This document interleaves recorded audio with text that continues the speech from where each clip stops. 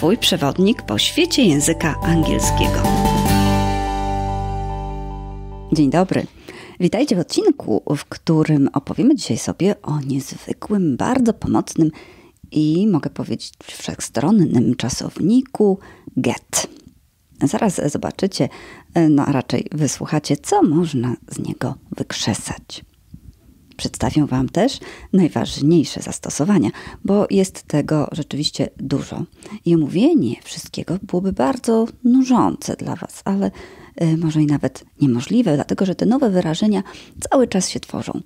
Zapraszam Was więc do pobrania karty pracy z obszernym materiałem dotyczącym czasownika GET ze strony www.monikapodbielska.pl, odcinek 63 Znajdziecie tam także ćwiczenie, aby sprawdzić, czy rozumiecie i wiecie, jak posługiwać się czasownikiem get.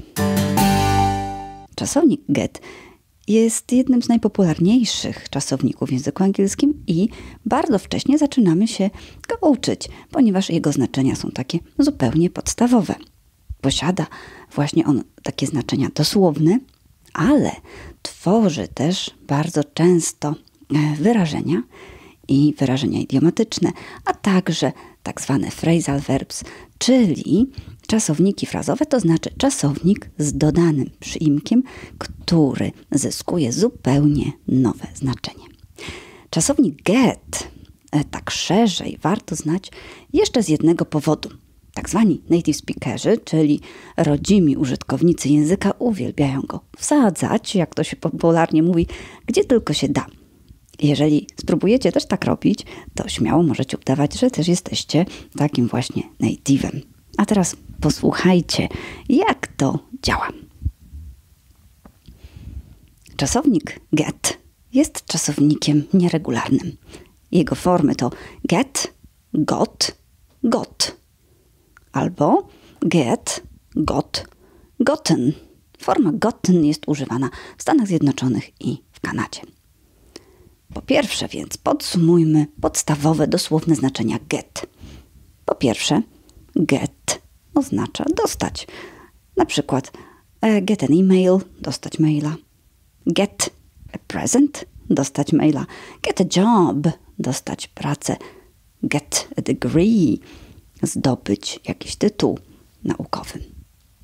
Na przykład I got over 100 emails this morning. Dziś rano dostałem ponad 100 maili. I got over 100 emails this morning. She got an MA in linguistics last year. W zeszłym roku zyskała magistra z lingwistyki. She got a MA in linguistics last year. It's difficult to get job as manager. Trudno jest dostać pracę jako menadżer. It's difficult to get job as a manager. Po drugie, get oznacza dotrzeć gdzieś, dojść, dojechać, get to work, get home. Na przykład, how much time does it take you to get to work? Ile czasu zajmuje ci dojechanie do pracy? How much time does it take you to get to work? We usually get to my parents' house in two hours. Zwykle docieramy do moich rodziców w dwie godziny. We usually get to my parents' house in two hours. Po trzecie, get oznacza przynieść coś komuś. Uh, get uh, a glass of wine, get some coffee. Na przykład, do you want me to get you something? Chcesz, żebym ci coś przyniósł? Do you want me to get you something? Please get a glass of water for me. Przynieś mi szklankę wody, proszę. Please get a glass of water for me. Teraz przejdziemy do trochę innych zastosowań czasownika get, czyli w różnych wyrażeniach. Get w wyrażeniach z przymiotnikiem, przysłówkiem oznacza zmianę statusu, proces przechodzenia. Czyli jeżeli mamy na przykład słowo late, późno, i powiemy get late, oznacza to, że robi się późno. Old, stary, get old, starzeć się. Dark, ciemno, ciemny, Get dark, ściemniać się. Married, zamężna, żonaty. Get married, więc wziąć ślub. Difficult, trudny. Get difficult, robi się trudno. Także powiemy get drunk, upić się, get drunk. Get pregnant, zajść w ciążę, get pregnant. Get addicted, uzależnić się, get addicted. Posłuchajcie innych przykładów. I am getting tired with this work. Męczę się tą pracą. I am getting tired with this work. I got so drunk at the party. Bardzo się upiłem na imprezie. I got so drunk at the party. It's getting dark. We need to get back home. Robi się ciemno. Musimy wracać do domu. It's getting dark. We need to get back home. It's sad that he has got so old. Smutne jest, że tak bardzo się zestarzał. It's sad that he has got so old. Tego typu wyrażeń możemy tworzyć przeogromną ilość w zależności od tego, co chcemy wyrazić. Posłuchajcie więc innych przykładów. Get fat, utyć. Get fat. Get worried, zmartwić się. Get worried. Get dirty, ubrudzić się. Get dirty. Get sick, rozchorować się. Get sick. Get hurt, zranić się. Get hurt. Get hungry, zgłodnieć. Get hungry. Więcej wyrażeń, bo może ich być tak naprawdę o przeogromna, niekończąca się ilość, znajdziecie w materiałach do tego odcinka na mojej stronie www.monikapodbielska.pl.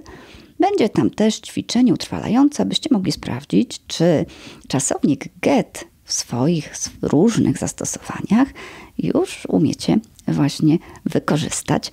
Pamiętacie, że jest to odcinek podcastu numer 63.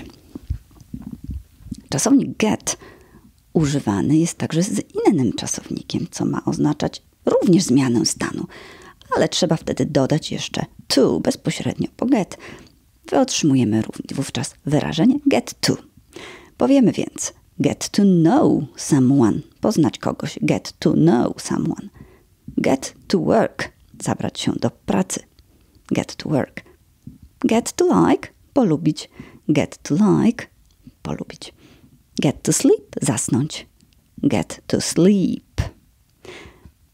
Na przykład stop saying that. I have just gotten to like you. Przestań tak mówić, właśnie cię polubiłem. Stop saying that. I have just gotten to like you. Oczywiście, czasownik get odmieniamy przez wszystkie czasy. I tutaj zapraszam Was do odcinków, w których omawialiśmy czasy, aby przypominać sobie od czasu do czasu ich budowę i zastosowanie i właśnie w odpowiednie czasy i konstrukcje wkładać nasz czasownik get.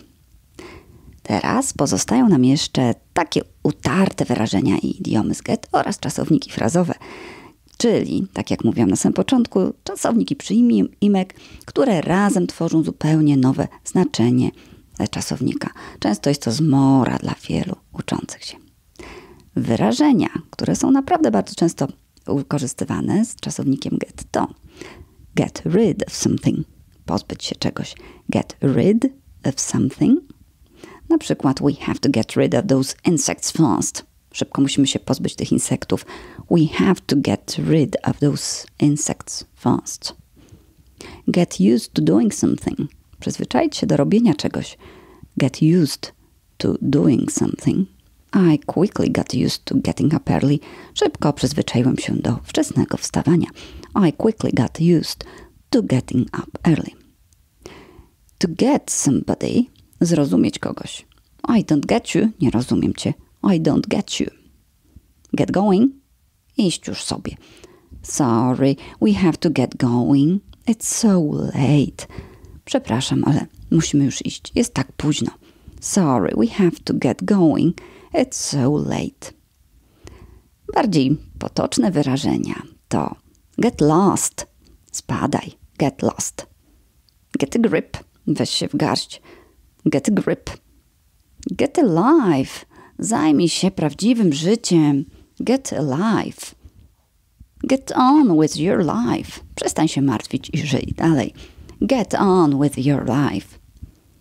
Teraz posłuchajcie najpopularniejszych i wybranych czasowników frazowych z czasownikiem get. Jest ich naprawdę bardzo dużo. Teraz przedstawię tylko te wybrane. E, w ten sposób łatwiej będzie można je zapamiętać, jak nie jest ich za dużo, ale więcej znajdziecie, tak jak mówiłam, w materiałach. Pobierzcie więc je sobie ze strony www.monikapodbielska.pl i tam znajdziecie obszerniejszą listę, jak również ćwiczenie. Get around. Przemieszczać się. Get around. How do you get around in the city? Jak przemieszczasz się w tym mieście? How do you get around in the city? Get at. Zmierzać do czegoś, sugerować. What are you getting at? Co sugerujesz? What are you getting at? Get by. Radzić sobie finansowo. Get by.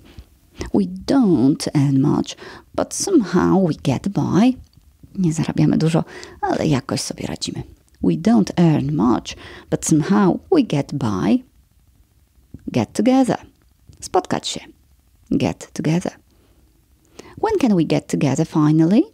Kiedy możemy się w końcu spotkać? When can we get together finally? Get up. Wstawać. Get up. I don't like getting up early. Nie lubię wcześniej wstawać. I don't like getting up early.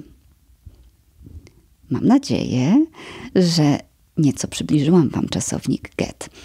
Prawda, że jest bardzo obszerny. E, teraz możecie sobie właśnie spróbować funkcjonować w nim, używać go w tak wielu e, wyrażeniach i sytuacjach. Na karcie pracy znajdziecie więcej wyrażeń, tak jak już mówiłam, które, z którymi na spokojnie można się zapoznać, wracać do nich. Jest ich naprawdę bardzo dużo, ciężko je zapamiętać naraz, więc od czasu do czasu można sobie je czytać i wtedy na pewno wejdą Wam, jak to się mówi, do głowy. E, pobierzcie sobie materiał. Przypominam www.monikapodbielska.pl, tam podcast, odcinek 63. I wykonajcie również ćwiczenie podsumowujące, żeby się sprawdzić. Zapraszam Was na mojego Facebooka i Instagrama. I piszcie, piszcie, oceniajcie, pytajcie, lajkujcie albo i nie. Do usłyszenia w kolejnym odcinku. Pozdrawiam, Monika Podbielska.